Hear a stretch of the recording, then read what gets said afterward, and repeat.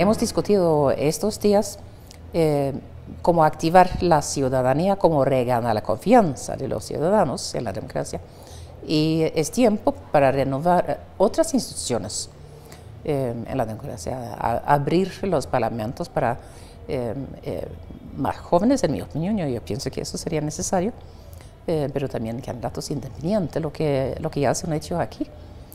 y aumentar la posibilidad eh, para ciudadanos fuera de los partidos políticos eh, de, participar en el diálogo político. En cuanto a las mujeres, ya estamos en marcha. Eh, unos 25%, no es 50%, pero es mejor que, que otros continentes en cuanto a la representación en los parlamentos para las mujeres.